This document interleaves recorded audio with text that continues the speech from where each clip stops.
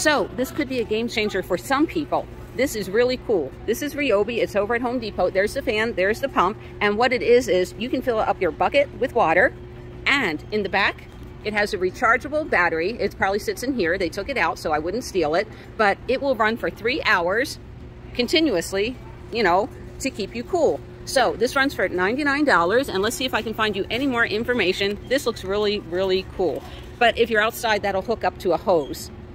All right, up to three hours of continuous runtime with included 1.5 amp hour battery easily connects to start and get standard garden hose or directly pump water out of most five gallon buckets for ultimate portability, pivot in head for optimal angle, and high-low switch. Wow, that is really cool. Now this is about 12 inches high and it's the width of a normal five gallon bucket. But you know what? It's not bad, not bad at all if you have the space. $100 over at Home Depot.